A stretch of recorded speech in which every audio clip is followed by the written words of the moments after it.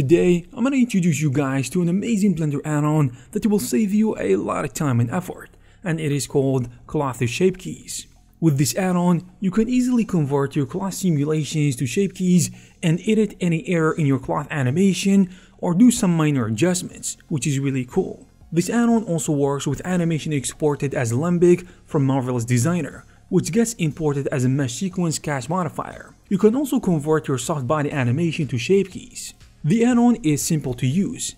After you install it, you can find it in the N panel, but before converting to shape keys, it is better to disable or remove any modifiers like the subdivision surface or solidify to get accurate results when converting.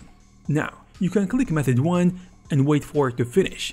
Method 2 however uses surface deformer modifier to convert to shape keys, but the surface deform modifier doesn't work when the frame settings are different than the cloth cache settings or if your cloth has pockets with welded vertices, meaning mesh has at least an edge with more than two faces. So after the conversion finishes, you will get a duplicate with all the shape keys so you can remove the original object or just hide it so anyone can use it later if you choose to.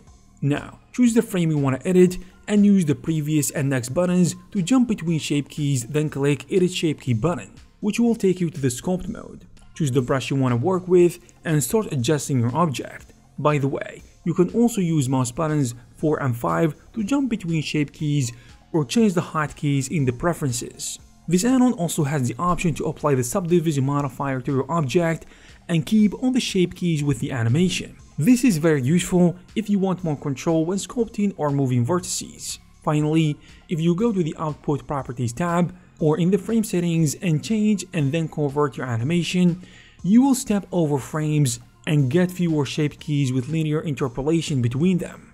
I think this is an amazing add-on that solves a really tedious problem with just a simple clicks. So if you are interested, you will find the necessary links in the description. I hope you guys found this video useful. If you did, please subscribe to this channel to stay updated with the latest news of 3D software and the 3D industry in general. Thank you very much for watching and I'll see you in the next one.